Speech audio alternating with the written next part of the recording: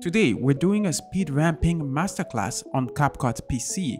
So stay glued because this video is going to be very detailed. The first example is a slow motion speed ramp, where we go from normal speed to a smooth slow motion to accentuate the action. To recreate this slow motion effect, your video must have been filmed at a frame rate much higher than your timeline's frame rate. In my case, my clip was filmed at 100 frames per second, while my timeline is set to 30 frames per second, meaning I can safely slow down my clip to around 0.3 and still get a smooth playback.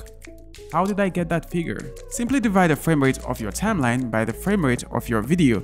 Therefore, if I have a video filmed at 60 fps, I can slow it down to 0.5 on a 30 fps timeline and still get a smooth playback. You can check your timeline's frame rate by clicking on Custom Custom. Under frame rate, you'll see a bunch of options to choose from. I'll leave mine at 30 fps.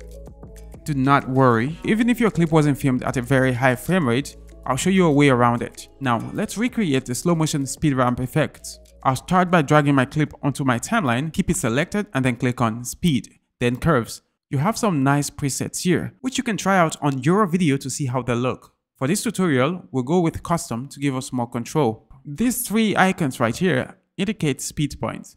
CapCut already has a speed point around that action. You can click, hold, and drag to move a speed point. You want to adjust the first speed point to match with the beginning of your action.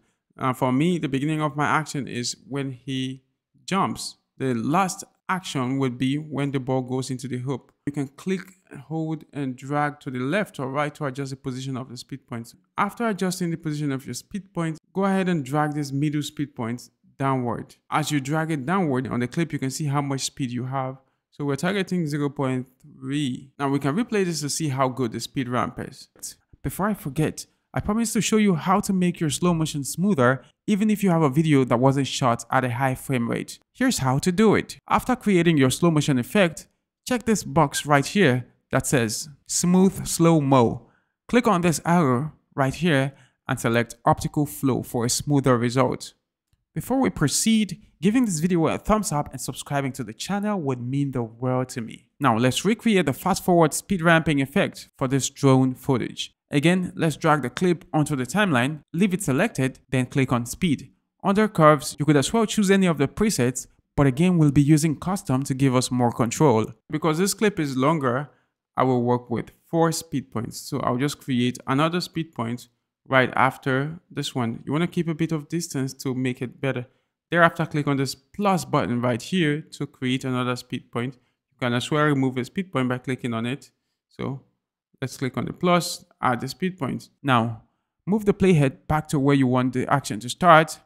Click, hold, and drag the second speed point upward this time.